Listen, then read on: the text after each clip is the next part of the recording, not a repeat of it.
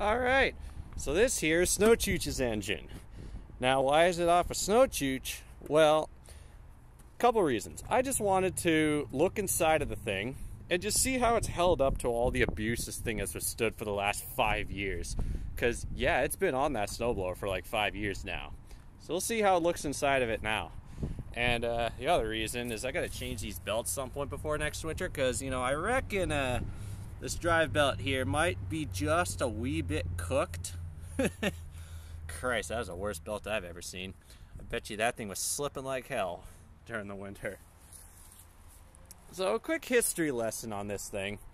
So, originally, I bought that thing off of Craigslist back when I was still living with my parents because um, they adamantly refused to buy a snowblower for fucking reasons.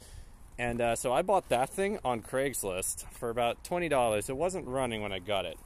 And, uh, well, I swear, I managed to buy just the worst snowblower I possibly could have because fucking hell, this thing is awful. But, uh, you know, that's beside the point. So this thing originally had a, uh, a flathead engine on it. I don't remember how big it was, but that engine was, was junk. Uh, it had broken the crankshaft key, which uh, even after I fixed that, I still couldn't get it to run. I'm pretty sure it was losing compression out of the exhaust valve. So I was like, ah, forget that.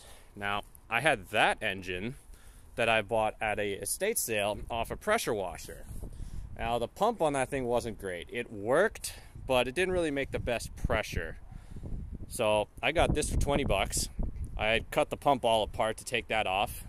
And I was like, cool, so this thing run ran good. So I disassembled it pretty much right away for because I wanted to um, wanted to take the governor out because you know 3,500 RPM that's just not enough, and um, I wanted to also just inspect the internals. So originally I had bought this with the intention of perhaps putting it on a go kart or something, but well that, that just didn't end up happening. It ended up going on that thing. So when I took this apart, the thing was in perfect condition. There was no scoring whatsoever on the cylinder walls. All the cross hatches were still there. The rod bearings were perfect. Cam lobes were great. Everything was awesome on the inside. Now, I know you know probably how that ha- went because for the last five or so years after I put this on that thing, uh, I've been beating the absolute living shit out of this thing. And you know, it's developed a bit of smoke to it. So I just want to see how it's fared on the inside. See how the cylinder looks see how the rod bearing looks, see how the cam lobes look. The thing is, I am honestly amazed that this engine has not blown up yet. Because when I reassembled it, I didn't torque anything correctly. I didn't even pull up the torque specs, I just completely guessed. I just tightened the rod bolts to however the fuck tight. I tightened the head bolts to however the fuck tight, and I reused the head gasket, which you know, what's that gonna do? Fucking leak? Woof, whatever on that one. But the fact that this thing has survived all of it that it has on guest torqued everything, that's amazing. So we're gonna have a look inside this thing again. Just see how it's worn, see how the cylinder looks, how the piston looks, how the rod bearing looks, how the cam looks. I'm real interested to see what we find in here because this could potentially be real interesting. So first things first, let's drain this oil. Let's see how bad this looks. I mean, I'm expecting it to because it doesn't have an oil filter or anything. Let's have a look.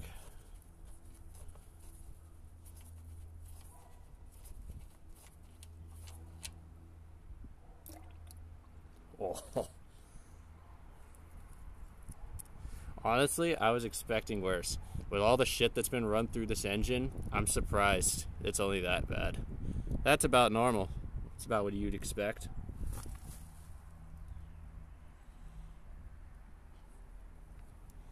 Boy, the shit that's been on this. I'm expecting. I'm curious to see if there's any damage that's causing all the blue smoke or if that's just cylinder wear. Because, I mean, I'm kind of expecting a cracked ring ringland because I once ran this thing on acetylene just for the fuck of it. And uh, holy crap, was it banging so loud!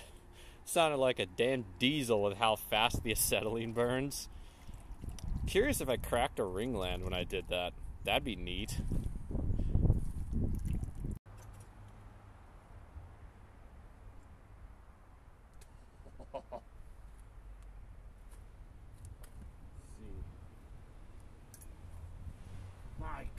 so much oil in there.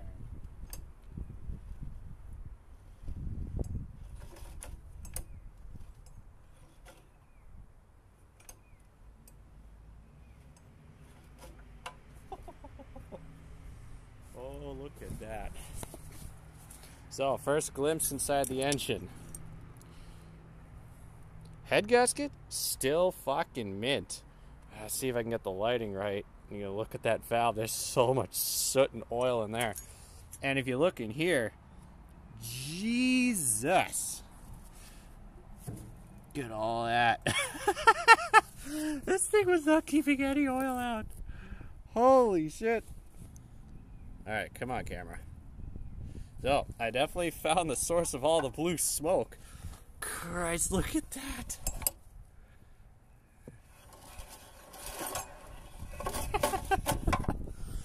oh there's some lines in there, I tell you. But particularly right there, that streak of oil that's not getting scraped at all, that's just coming right by it. Oh, that's good. Let, us clean it off in here a little bit. See what we can see. God, look at the top of that piston too. Jesus. Clean that right off. So how does the cylinder look? Well, I definitely see a spot. That, that spot right there has definitely been washed. There's clearly something that's, that was sitting in there for a while. The rest, though, like, there's actually still crosshatches there and there. Actually, right quick, look at this. You see all that?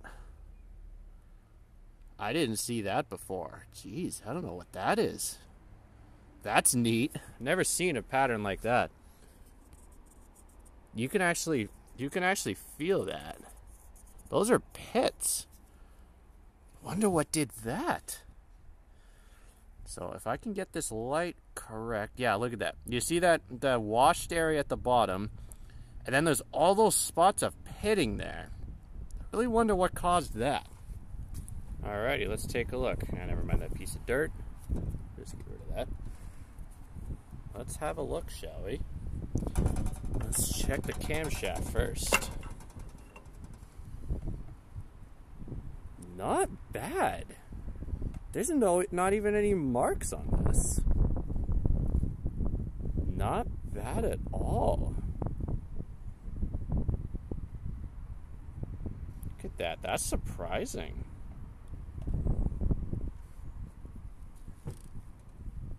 Alrighty. How about the lifters? It's definitely got some circle marks on it, but you know, that's to be expected. I mean, they are flat tappets and all.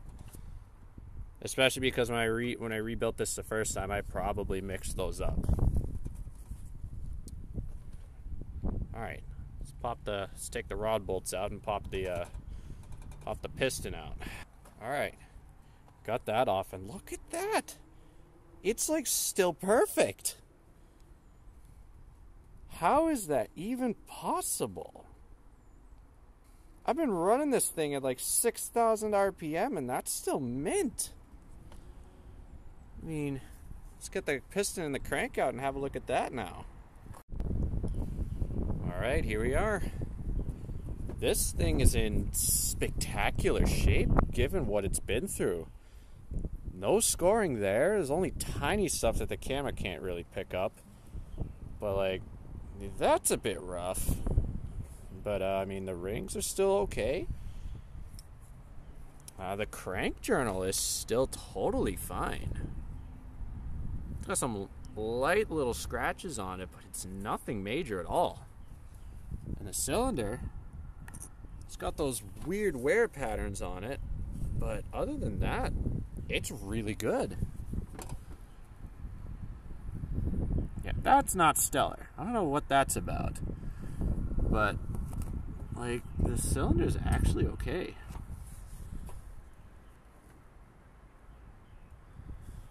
That really should say something about how well built these engines are. If after all of the abuse that this thing has taken from me for five years, it honestly has barely even worn at all. That's honestly shocking. I'm seriously impressed. I really am. That is so cool that that's only that's barely worn at all. What a damn treat. This engine might be around for a while. I was thinking this thing Because, see, I'm kind of at this point just waiting for this engine to blow up so I can put a bigger engine on Snow Chooch. Because what I want to do, I want to put a diesel on that. Something like just way too big for for the thing. But this engine might be around for a little bit. I might have to like boost this or something instead. Jesus, this thing has been holding up. I'm honestly shocked. I did not think this would hold up like this. Well, there was one other thing I wanted to do while I'm in here. And you see, that involves this. So, if you notice here, there are three rings here. You get your top two compression rings, uh, but the bottom one here, that's the motherfucker. This one right here is the stupid one that limits how much the thing chooches. Now, I don't know, you should know how we operate around here. Now, we can't have that. So, we're going to take that out, and that's really going to get some good ass chooch in here going.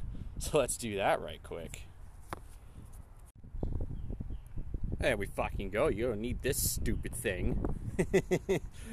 I'll keep this around so that in case we get some adverse side effects, I can just put it back in. But for now, ain't need none of that shit. ain't got no chooch limiter now. Now we're gonna really blow some blue, boys. All right, let's start getting her back together now that I've seen what I needed to. All right, let's see how it runs.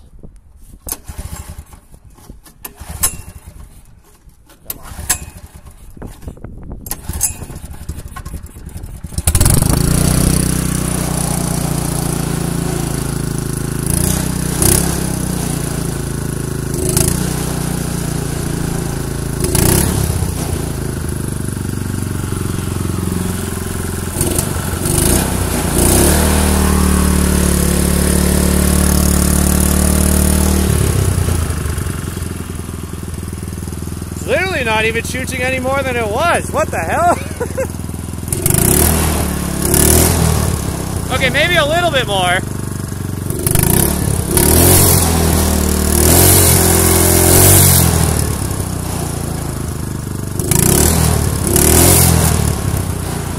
Wow, that barely made a difference at all. That's surprising, actually.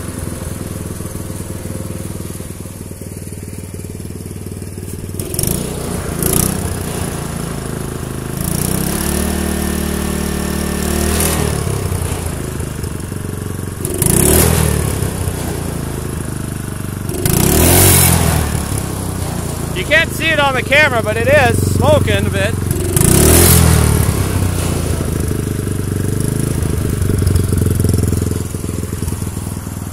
Wow, that's exactly the same as it was. What the fuck? that's hilarious.